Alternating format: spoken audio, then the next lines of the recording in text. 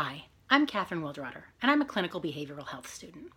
When I get my MSW, I plan on working with children and families, helping them express themselves authentically, navigate through difficult situations, and find their way back to each other. Your gift counts to me because it helps us have conversations. Tuition only goes so far to help support our programming. Our faculty and staff costs, our student costs, and private gifts help bridge that gap. It help make the connections that allow us to bring people together in a room and have real, honest conversations.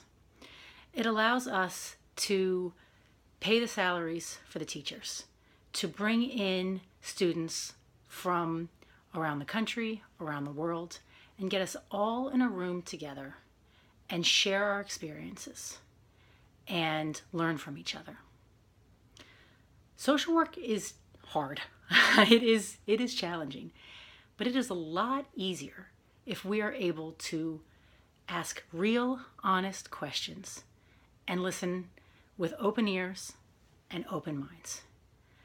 And that is so incredible and so helpful. And that is what I've had at School of Social Work. I have had the profound honor of having amazing professors, and I have had the true joy of having incredible colleagues in my fellow students.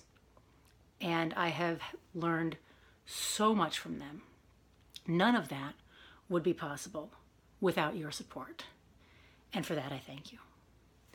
So I want to take this opportunity to thank you for your past support, to thank you for your future support, and to say keep doing what you're doing. You because of you, we are having challenging conversations, but necessary conversations and wonderfully enlivening conversations. So thank you, and I hope you have a great day.